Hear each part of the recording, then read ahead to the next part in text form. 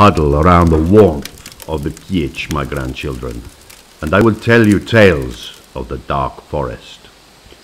I will tell you tales of beasts and monsters and the horrors that dwell in the shadows. I will tell you tales of the ancient black stones that stand in lonely glades under the moon. I will tell you tales of dark power and the screaming cries that you can hear when the gales blow from the north. I will tell you why we must keep the door barred and the windows tightly shut on a cold winter's night. I will tell you why you must never go into the dark beneath the trees.